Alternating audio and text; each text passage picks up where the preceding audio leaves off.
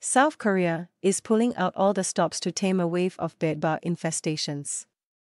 Over the next four weeks, the government will carry out massive inspections and take preventive measures to curb the infestations. The country reported a rise in bedbugs infestations in recent months. The reddish brown, wingless parasites have been seen in lodging facilities, bathhouses, and other places across the country deemed vulnerable to the pest, such as public transportation and dormitories. A student reported being bitten by bedbugs in a dormitory at Keimyung University in Daegu in mid September. The following month, live bedbugs and larvae were found in a sauna in the Seogu in Incheon. Bedbugs have also been reported in Bucheon, Yeongdeungpogu in Seoul, and Busan. From October to November 6.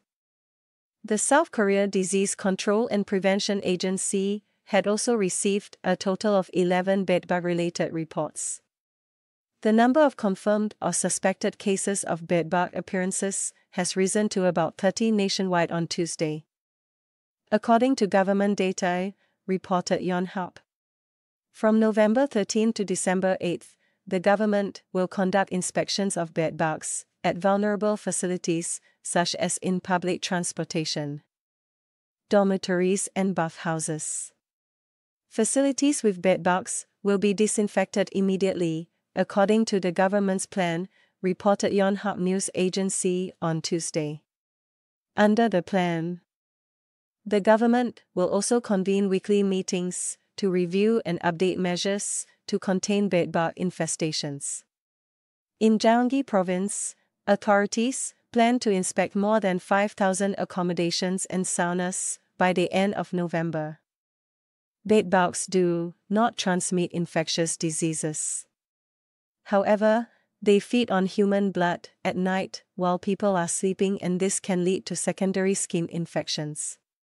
During the day, the parasites usually hide in places such as the seams of mattresses, inside cracks or crevices, behind wallpaper, or any other clutter around a bed. Moving forward, the number of reported cases will likely increase. Said a government official who was not named in the Yonhap report. There are perceptions that bedbugs are attributable to individuals and some refrain from filing a report because of concerns it may be seen as a sign of bad hygiene. The number of reports is expected to increase, said the official.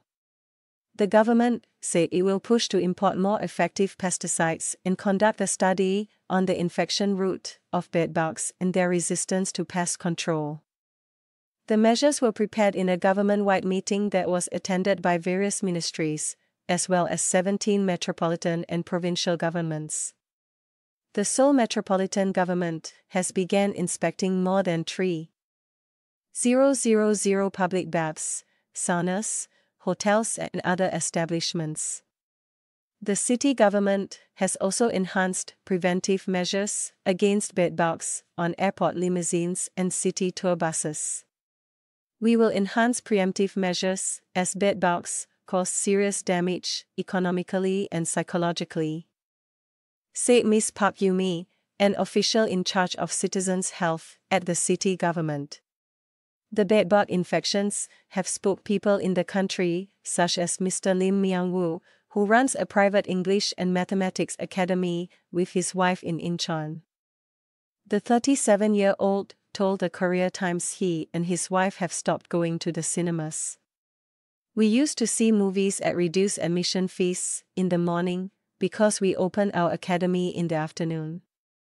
But we decided to stop going to theaters for a while as we are worried about bedbug bites or carrying them to our workplace or home, he said.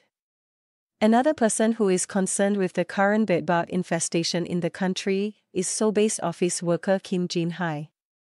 The 40-year-old saw a bug on a curtain in her living room and thought that it was bedbug, reported the Korea Times. My husband caught the bug and told me it wasn't a bed bug.